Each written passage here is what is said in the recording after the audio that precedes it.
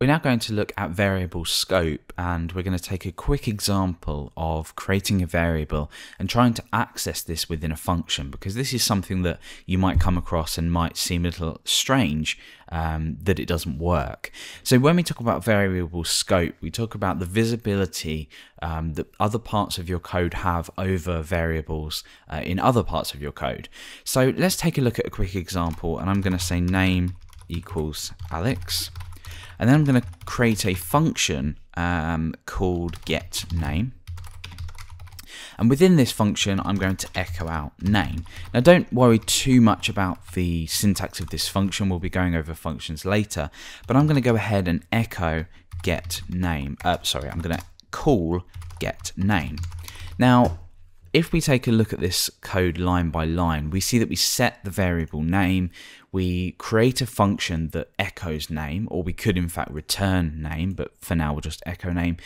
Um, so we'd think, yeah, well, this will find the variable name up here, it will echo it out um, once we call the function. So let's take a look at what actually happens here. Well, we get a notice in PHP telling us that we have an undefined variable name.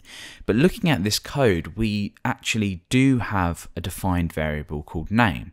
So why hasn't this worked? Well, within functions in PHP, the scope um, of the function um, in terms of the variables that we use um, need to be defined within this function. So for example, if we were to say get rid of this and place it within our function, this will then work. So if we refresh, we get the value that we expect. But because initially it was outside of this function, it can't find this variable name because it's looking for a function that's been defined within the, uh, looking for the variable that's been defined within the scope.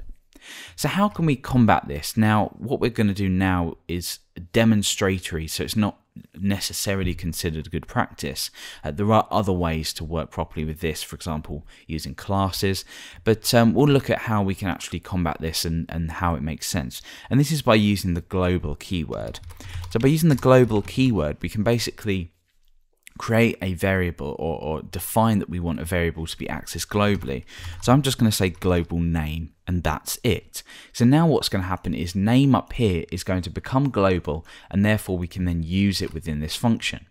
So if we go ahead and refresh now, there's no change. So the code that was previously not working is now working. Now, there's a hell of a lot of information on the PHP uh, in the PHP documentation about this, so it's a good idea to take a look around, look at some examples, and understand how this works.